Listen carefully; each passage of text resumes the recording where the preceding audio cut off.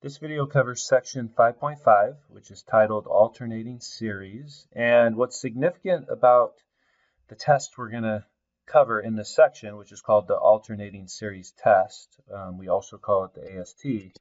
What's interesting about it is what we've done so far is we've only looked at series that have primarily positive terms. And so the AST deals with how to tell if a series that um, has alternating terms between positive and negative, whether a series like that converges. And so um, that's what we're going to look at in the first video. And then in the second video, we're going to talk, uh, we're going to define two different types of convergence. We're going to talk about absolute convergence and conditional convergence. So let's jump into the alternating series test. Um, notice that um, right here in the definition, it kind of gives two different forms for an alternating series. Um, the first one looks like this and the second one looks like this. The only main difference between these two forms is that the first one starts with a positive term, right? That term's positive. And then the second one starts with a negative term. So alternating series can be either way. They can either start positive or start negative, but with either one, they alternate between positive and negative. The other thing you should notice about either one of these forms is there's kind of two parts to it, right? So there's the negative 1 to the n power. The other one has negative 1 to the n plus 1. And then they both have a b to the n part. So you want to, when we're kind of going through the AST, alternating series test, we want to kind of separate that b of n from the negative 1 to the power. Because that's going to be part of how we determine whether an alternating series converges.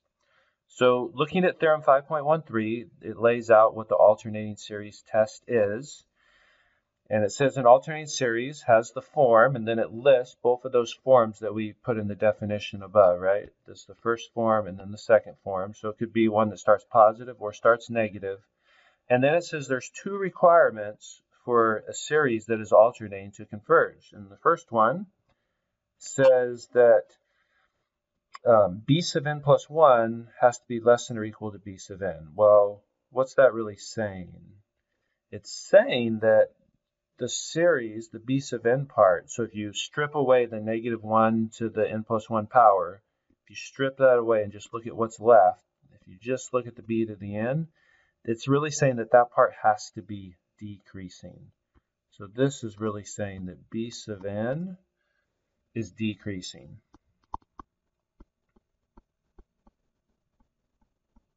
All right, and then the second part says that the limit of b sub n as n approaches infinity has to be zero. So not only is it decreasing, but it the terms have to approach zero. Before we do an example, there's actually a couple of notes here, and these notes are very important. The first one that says that the AST only tells us whether a series converges. So it never tells us diverge. It doesn't say anything about the sum. It just tells us does a series converge. The second thing is that the AST requires that B sub n eventually decrease. So it doesn't have to be decreasing the whole time. It's just that it eventually decreases. So it could start out increasing and then as n approaches infinity, as n gets bigger, then it eventually will decrease on end. And then the third thing is that if, and this is important, if the AST does fail, and if it fails because the limit is not zero of b sub n, then almost every time we can use the divergence test to prove that it diverges.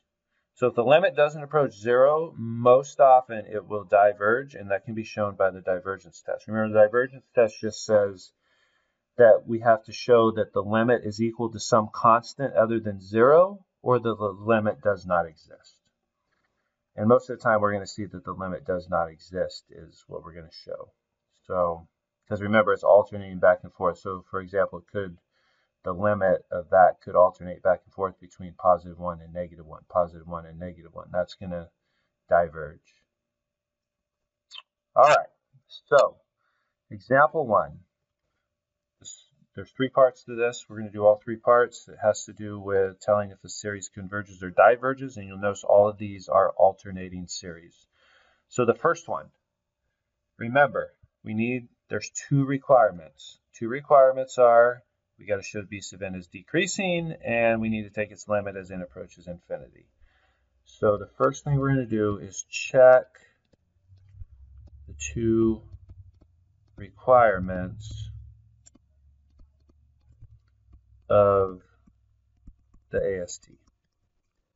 Okay, first requirement.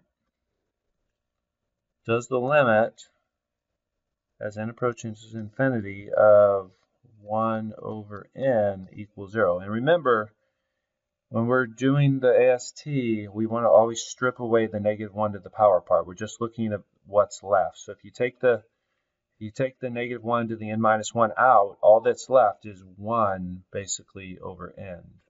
And so we're taking the limit of that, and of course, as n gets really big, this becomes 1 over infinity, which, yes, that is 0.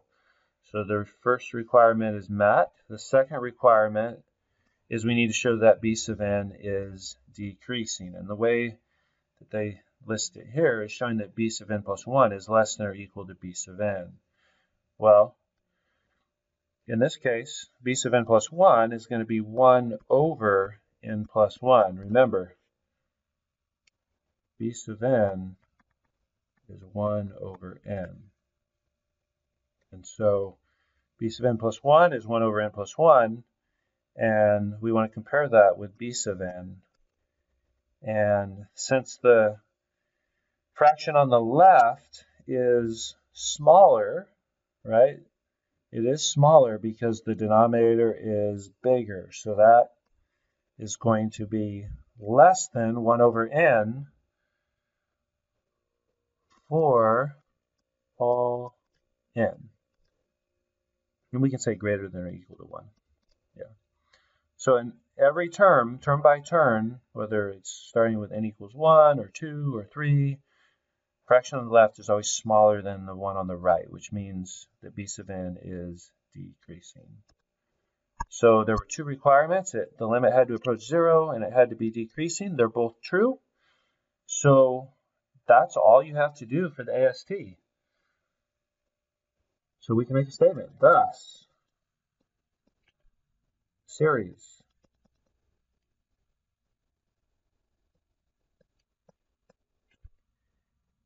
converges by what? Remember, we always say why. By the AST. And we proved it by showing that the two requirements were met. Now, this series is similar to one that we did at the um, beginning of this chapter. If you'll remember the harmonic series, you remember what that one looked like? The harmonic series says that the sum n equals 1 to infinity of 1 over n, that series is divergent. And this series looks very much like that one, right? Because if you strip away the negative 1 to the n power, it's 1 over n is left. So it looks harmonic, but it's alternating. So um, what we can call this series, this one actually has a name, it's called the alternating harmonic series. And the alternating harmonic series is convergent. So we say note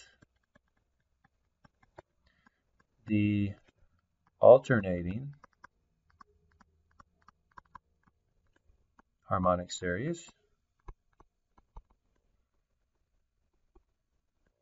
converges. All right, that does it for part A. Let's go ahead and look at part B. So we again are going to check our requirements. So the first one is we want to take the limit as n approaches infinity. And remember, we strip away the negative 1 to the n power part. So what's left? We're left with n squared over n squared plus 5. And you know, there's different ways of thinking about a limit like this. Um, you could use L'Hopital's rule a couple times because we get infinity over infinity. One easy way to just kind of remember these things is if you look at the highest power of n in both the numerator and the, the denominator, if you just look at those terms, so if we just look at the n squared terms, then you can just take the ratio of their coefficients. And so this is, since this is 1n squared and 1n squared, we can say that this limit is going to be 1 over 1. And so that means the limit of this is 1. Well, what was the requirement for the AST? That limit had to be 0, right? But that's not the case here. We don't get limit of 0. We don't get a limit of 0. So what does that mean about the AST? Well, the first requirement is not met. So we can say the AST, the alternating series test, fails. And you remember what we do? As soon as the AST fails for that reason, the limit as n approaches infinity is not equal to zero, what do we do? Well, we said in a note on the previous page, remember we said if the AST fails because the limit of b sub n is not equal to zero, then we usually show the series diverges by the divergence test. And so now we don't strip away the negative 1 to the n part, we include that. So what we're going to do is we will show the series diverges using the divergence test. So we're going to take the limit as n approaches infinity of negative 1 to the n times n squared over n squared plus 5. Now, here's the thing. We already know, did, we just showed that the n squared over n plus 5, we just showed that that approaches 1, right? So what you essentially get here is we get the limit as n approaches infinity of negative 1 to the n times 1. Well, negative 1 to the n just alternates. It alternates back and forth between negative 1 and positive 1. If we multiply that, about, that whole thing by 1, this is just going to alternate back and forth. This entire limit is going to alternate back and forth. Negative 1, positive 1, negative 1, positive 1. And what do we say about limits that just bounce back and forth between a positive and a negative, but they don't decrease. We say that those limits do not exist. So that limit does not exist. And the divergence test says if we get a con if we get a limit that is a constant other than zero or a limit that does not exist, then it diverges. So we can say that our series negative 1 to the n times n squared over n squared plus 5 diverges by the divergence test.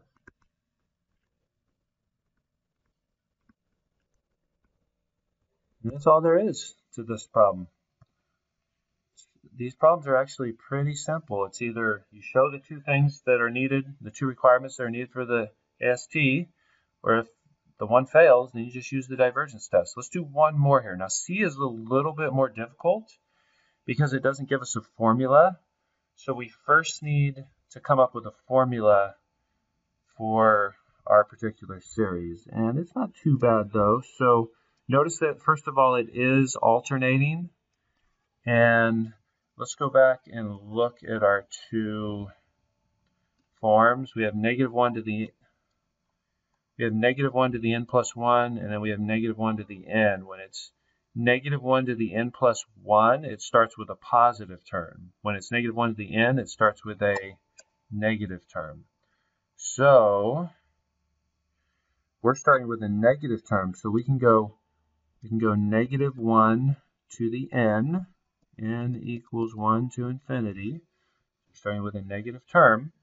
And it's pretty simple because notice the top is just powers of, or not powers of 2, it's multiples of 2, right? So first one is 2 times 1, then we have 2 times, right here we have 2 times 1, this is 2 times 2, this is 2 times 3. So what we really have there is the numerator is 2 times n. And then in the denominator, they're increasing by 1 every time, right? So it goes from 5 to 6 to 7 to 8 to 9. Each time it increases by 1. And it starts with, I would say, 4 plus 1, right? So we could say 4 plus n. 4 plus n, when n equals 1, is going to give you 5. When n equals 2 is going to give you 6, and so on. So, what do we have? We have our alternating series, right? This is a alternating series. What do we do first? Well, the first thing we should do is try to show that the AST is true, right? We should try to take the limit as n approaches infinity of our b sub n. So we strip away the negative 1 at the n, and what's left is 2n over 4 plus n. And here our highest power of n is just n to the first power, so we can take a look at we have basically 2 to the 2 times n over n. The limit of that is going to be 2 over 1 or 2, which again is not equal to 0. So does the AST hold for the first requirement? No, the AST again fails. What do we do? test for divergence, right? So we take now the limit of the entire thing. We take the limit as n approaches infinity of negative 1 to the n times 2n over 4 plus n, which is the limit of negative 1 to the n times 2, which again does not exist. It's just bouncing back and forth between positive 2 and negative 2. And so we say thus, negative 2 fifths plus 4 sixths minus 6 sevenths plus 8 eighths minus 10 ninths plus dot dot dot diverges by the divergence test.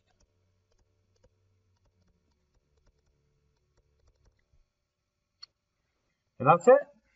That's how we use the AST to tell if a alternating series converges. And remember, if it diverges, we, or if that, if it fails to meet the requirements of the AST, we can use the test for divergence or the divergence test. All right, we're going to have one more video, so I'll see you in the next video.